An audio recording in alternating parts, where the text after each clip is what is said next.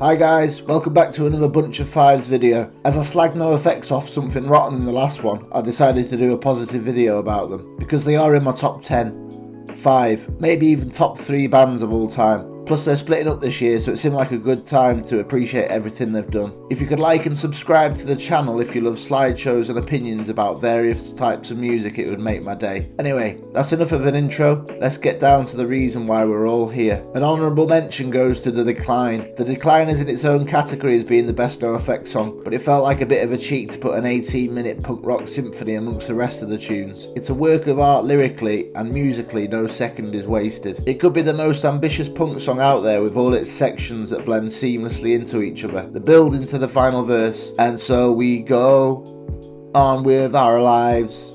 We know the truth, but prefer lies is one of the best moments in punk rock history. It's goosebump inducing. These are in no order, by the way, as it was hard enough boiling it down to a top 5. I could have easily picked a top 50.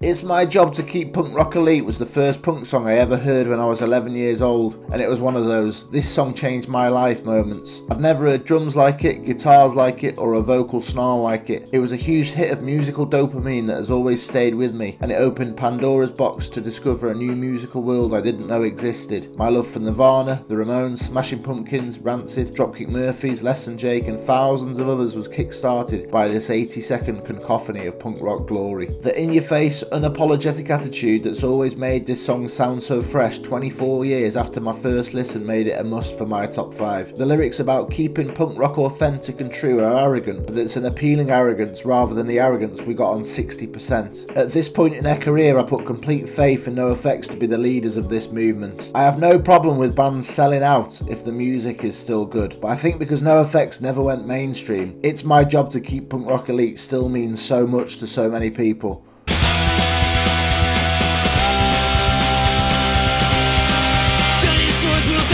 Okay, so maybe this is a bit of a basic pick, but there's a reason why the most popular songs are the most popular songs. I'm not going to be a hipster for the sake of it. Why would I put Bob Turkey, Mr. Jones, and Insulted by Germans in my top 5 to look cool? Dinosaurs Will Die is another dig at the mainstream music industry and a celebration of boring, burnt out rock bands having their day. NoFX's brand of punk was my year zero in the way the older generation talk about hearing the Clash for the first time, and this song in particular felt like it could change the landscape of music. When I first heard Pump Up the Valuum in 2000, this brand of punk was new to me and exciting and had the ability to wipe out the dated old music prior to this. The lyrics were backed up by El Hefe showing off during his solo as to why he is one of punk's greatest guitarists. It's an unapologetic raucous blast of early noughties punk that has to go down as a classic of the genre.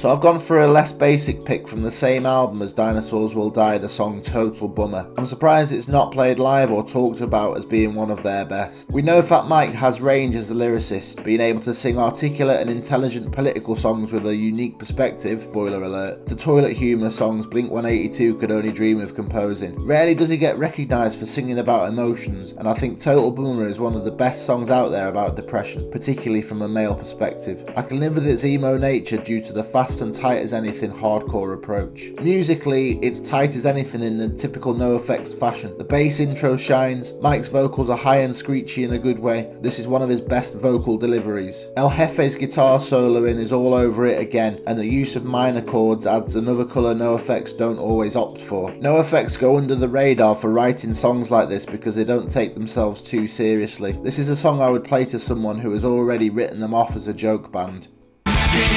Take it over. The early 80s are considered to have produced the best politically driven punk, but 2003 NOFX on their crusade against the Bush regime certainly rivals this era. Here is another example of NOFX musically and lyrically at the peak of their powers. This is more like a well thought out TED talk of personal frustration towards a system, with references towards Darwin's survival of the fittest failing, a Planet of the Apes analogy, and a potential voting reform with a sensible solution to the broken democratic system. Along with so many political songs on the war on errorism, It's a well thought out, clever song that still holds relevance, despite it being four presidents old. If the lyrics aren't for you, and you prefer the silly NOFX, you can at least get behind the bass's intricate intro and well structured chord changes, as well as staple NOFXisms such as palm mute effects, the mel and the ska breakdown. If that really doesn't do it for you, just wait for She's Nubs to come on.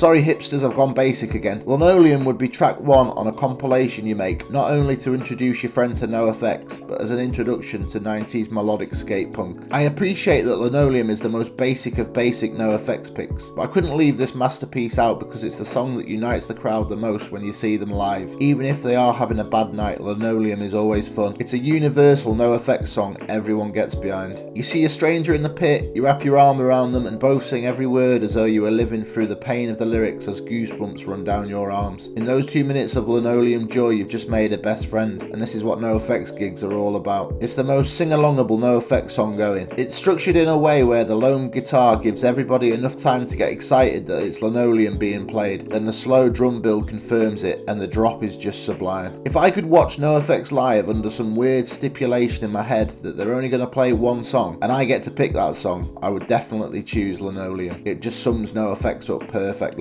And that wraps up my top 5 No NOFX songs. Were they too basic? Were they not basic enough? Which obvious song was missing? What about a hidden gem that deserves a lot more love? I'd love to hear your thoughts in the comments. Maybe I'll do a top 5 No NOFX songs that don't appear on studio albums in the future. Thanks for watching, like and subscribe for more content like this. Check out the previous videos and I'll see you in the next one.